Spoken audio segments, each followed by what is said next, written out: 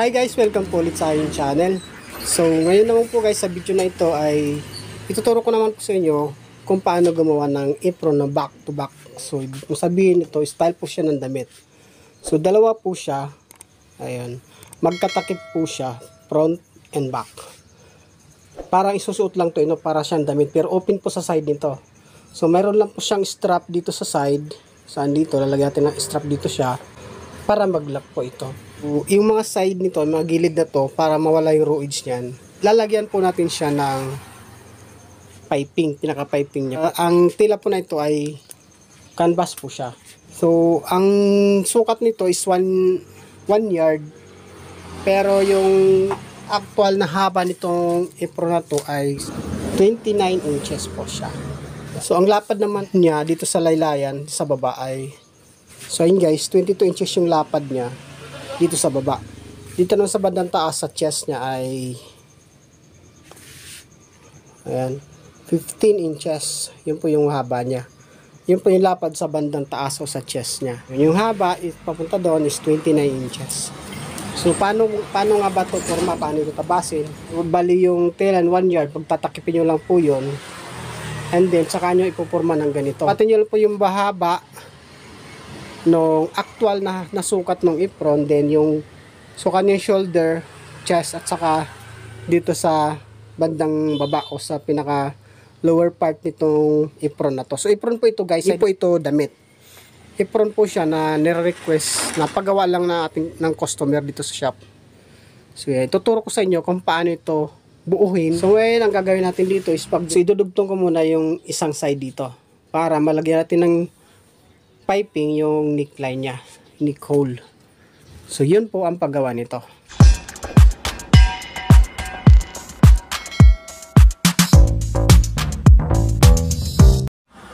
So yun, pagdudugtungin muna natin isang side ng shoulder. Parang ganito. Yan. So jujuning natin to. Ah, ganyan.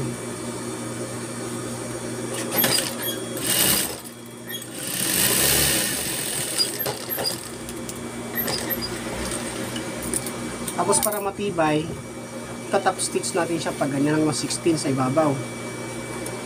Pwede rin ito i-overlock guys. Pwede rin naman, depende sa inyo kung paano gagawin para matibay ito. Yan.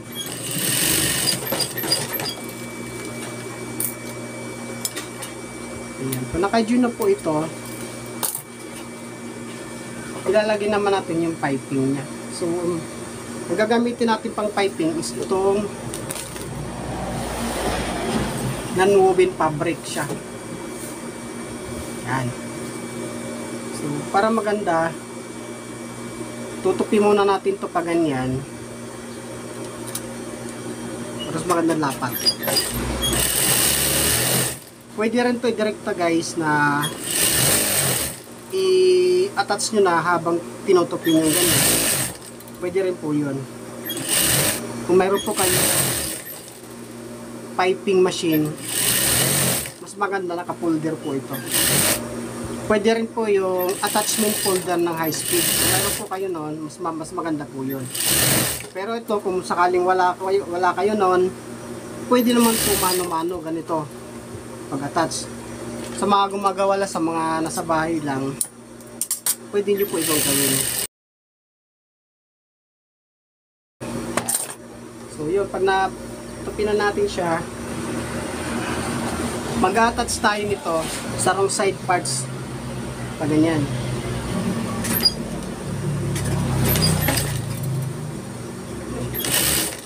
Hanggat maaari mas maganda sana kung pantay-pantay yung pasada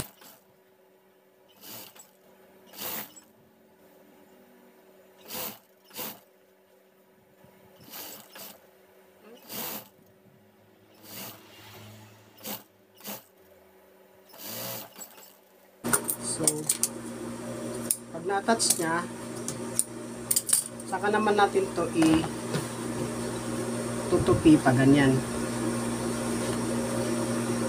Yan guys. Ito nga yung magiging pinaka-neckline niya.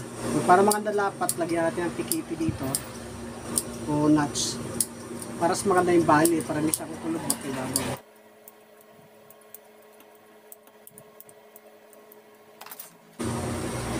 ganyan.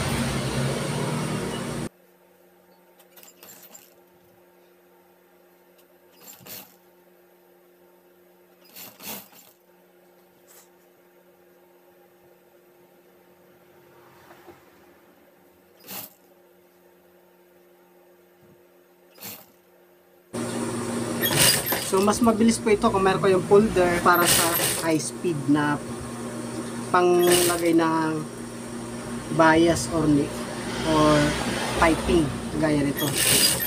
Mas mabilis po 'yun. Pero kung wala naman, pwede nyo itong sundin. Gayahin nyo lang to. Makakabuo ka ng tipro na front and back.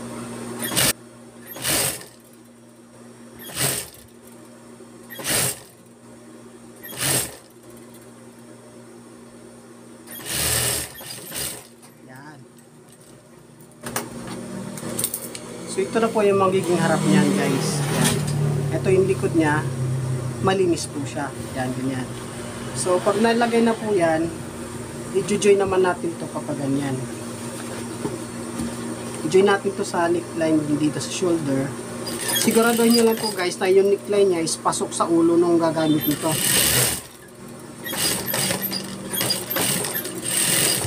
Yan. So, pwede po i-aging to meron kayong aging. Kung wala naman, top stitch lang po ng 116 pa ganyan.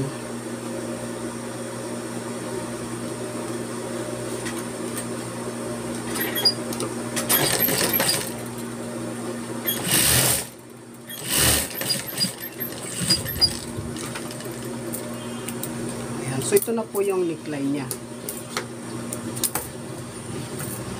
Ayan na po yung pinaka-neckline. Ito. Guys. Yan. Dahil lalagay na natin yan, gagawa naman tayo ng isa pang paikot buo yung buong body niya. So, lalagay tayo ng mahaba.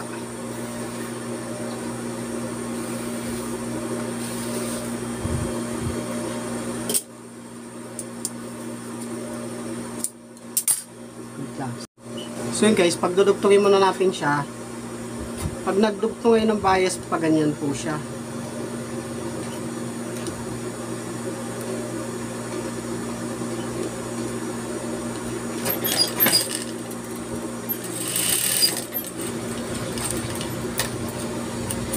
So yan, pag ganyan po siya. So kung mapansin nyo, hindi siya parehas yung lakad. Okay lang po yan. Kasi pagka binisting natin yan, papantay din po siya. So, ganun din po siya dito. Dudugtong natin siya para mahaba. Kasi buo, yan, pag nag-join kayo guys, pag ganyan po siya para sa bias.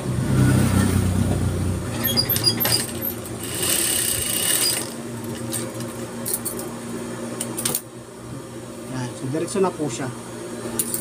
Yan, bibisting natin to kagaya ng ginawa natin kanina. So, bisting lang po natin siya pa ganyan.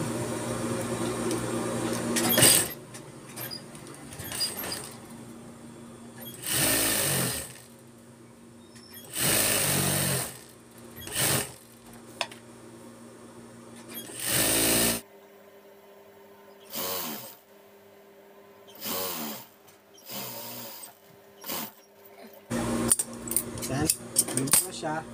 Diniatas naman natin ito paikot.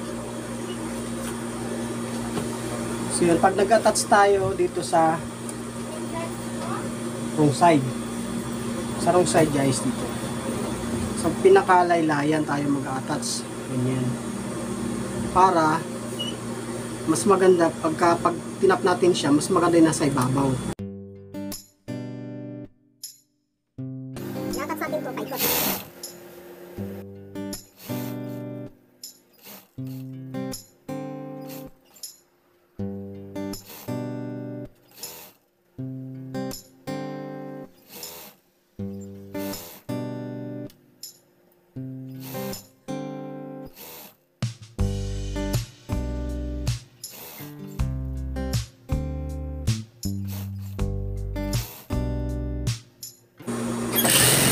Guys, i-attach natin to buo. Paikot hanggang ma makarating tayo dun sa dulo. Yan.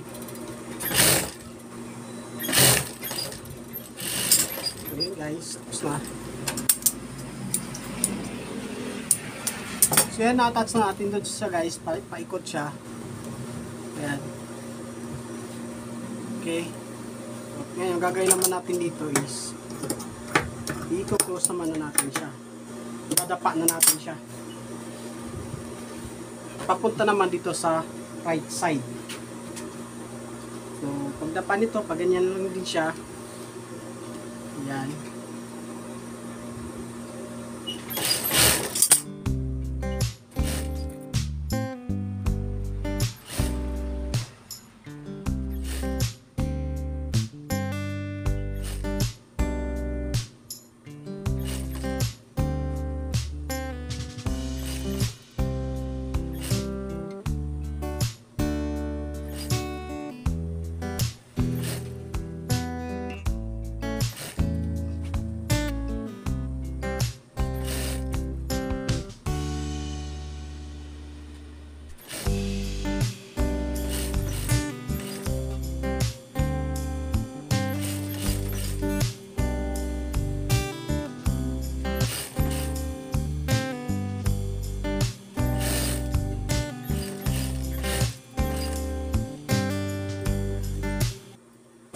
Yun guys, buo na siya.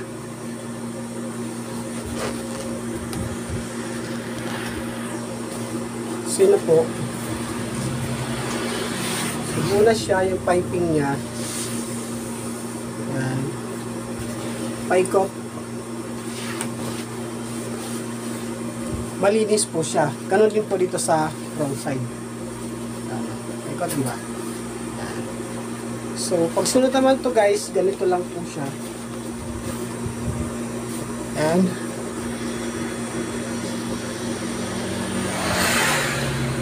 so yun po guys, nagagawa tayo ng pinaka-strap niya dun para sa sa side. Strap ko ng side po ito.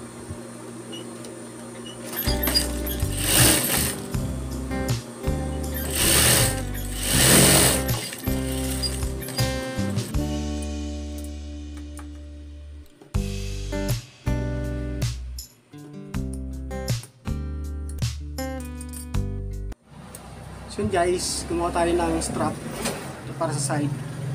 Pinakalak sa side, saka adjuster na rin to. So apat na piraso. Yung haba niya is 5 inches. 5 inches na yung haba. So nakalagay po ito dito sa side. Bali ito yung maging adjuster. Then pinakalak na rin po siya. So itatap, tatahin lang natin siya pagayon.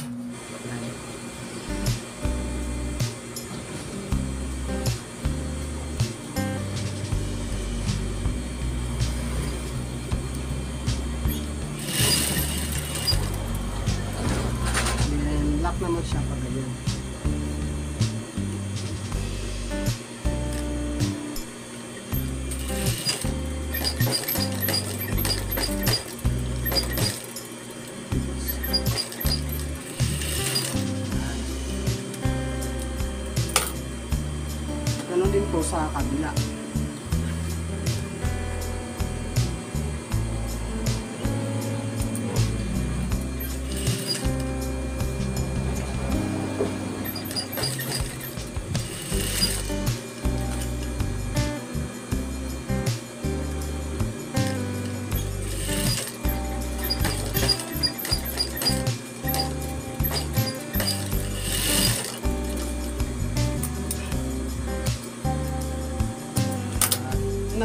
Ang magiging adjuster niya.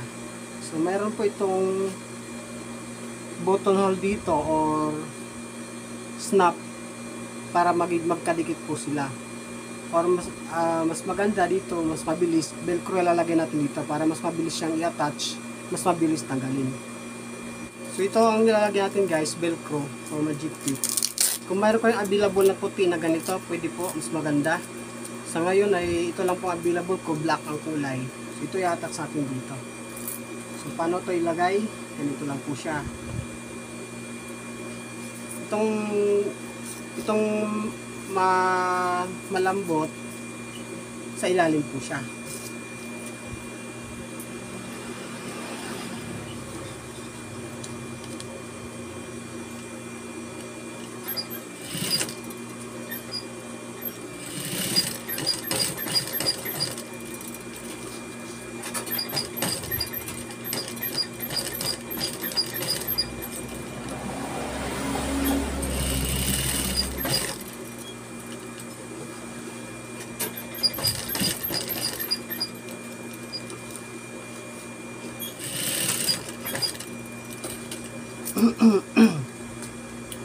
Ayan, nagdita siya. Ayan. Ito namang isa, ibabaw naman po siya. So ito nasa ibabaw, ito naman sa ilalim. Pag ganyan. Ganyan guys. Ayan.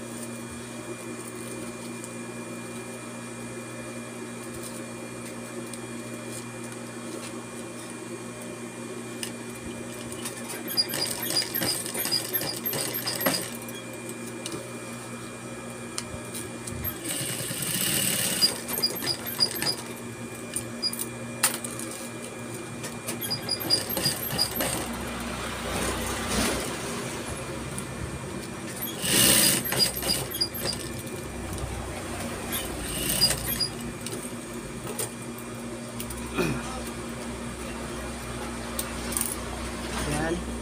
So, ganun din po yung gagawin mo sa kabilang parts nito, kabilang side. Yan pa yung maging adjuster niya. Lakihan mo, pwedeng ganyan. Gusto malitan, side mo lang ganyan. So, yun po ang magiging adjuster. Then, lock na rin po sa side. So, pwede nyo ito gawing button hole. Maglagay ka lang ng butones or snap, mas maganda. Pero ito lang po available ko ngayon adjuster, pwede siyang ganyan. Mas madali naman ito gamitin. Isa doon. Isa iba. Yan. So ganun po siya guys. So ganun din po gagawin dito sa kabila. So yun lang guys. Sana may natutunan kayo sa video na to. At bago tayo magtapos, shoutout po kay Madam Lea ng Nevesia. Shoutout po sa inyo, Madam. Maraming salamat sa pag-share at pag-panonood ng aking mga video. Bye bye everyone. See you next video. Bye.